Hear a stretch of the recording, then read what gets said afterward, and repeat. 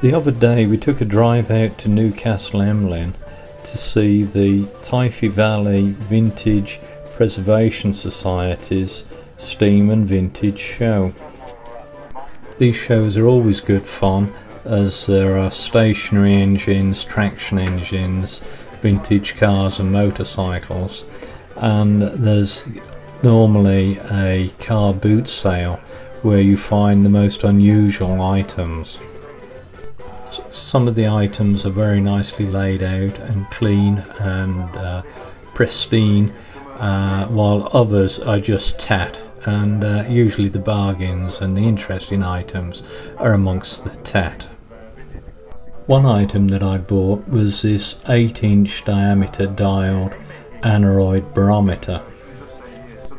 I particularly like this instrument as for each one inch displacement of mercury the pointer travels four inches around the dial. So it's quite sensitive uh, but there's every chance that it uh, had some sort of fault on it. But I thought it was worth the risk. When I got the barometer home I sealed it in a large plastic bag and then squeezed the air in the bag and uh, unfortunately there was no displacement of the dial so it meant uh, that in fact that the unit was faulty. When I removed the glass, the pointer and the dial I found that the return spring had rusted very dramatically and had failed in several places. Here you can see the rust on the spring that I've removed. But apart from that, there was no other obvious signs of damage.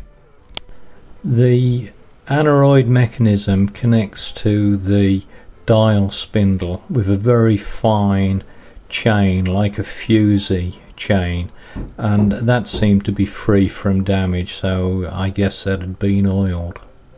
I took the pointer spindle and uh, the damaged spring out of the mechanism and I press the collet holding the spring off the spindle.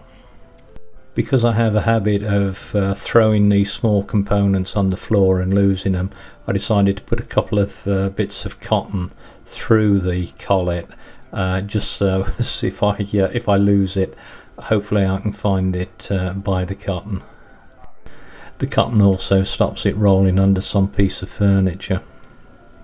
With the collet held with a toolmaker's clamp, I managed to open up the clench that held the start of the spring and uh, made the end free. Now it was time to raid my clock components and fortunately I had a, a balance wheel with a spring still on it that uh, I hadn't thrown out and although this was uh, a heavier gauge spring than the original, I decided to uh, give it a go and fit it to the original collet. Here you can see the new spring and here you can see a comparison with the old spring.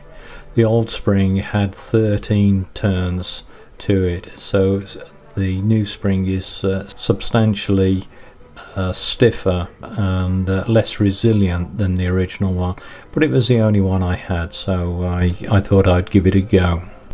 Here I've fixed the new spring to the old collet.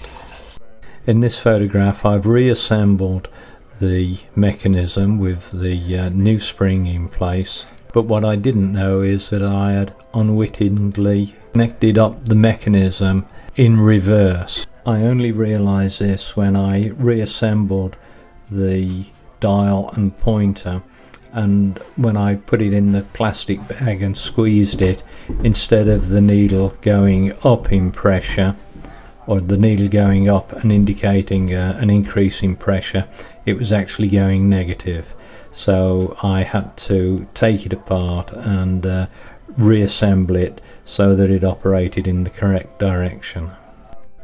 I failed to photograph the mechanism with the correct orientation uh, but I've indicated on this picture how it should be.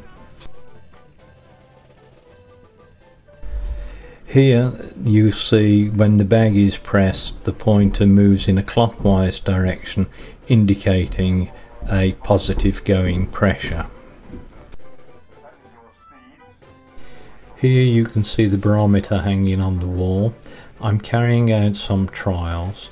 Fortunately the meteorological office is only a few hundred yards away from our home uh, so I'm able to get very accurate readings every hour and so far I can report that the instrument is better than 1% error which I think is quite remarkable for a, a piece of equipment that was probably made in the 1950s um, so thankfully the capsule is uh, airtight as uh, a failure with that would be a little bit difficult to uh, repair at home.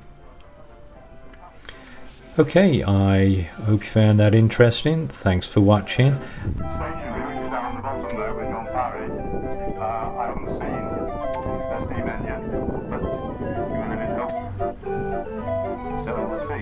After that, it's about 3 o'clock. There's a parade of the origin factors, and then all the other factors, um, which will be uh, announced uh, on the red fly and uh, sorted out by my friend, uh, who is about with the uh, and uh, all about.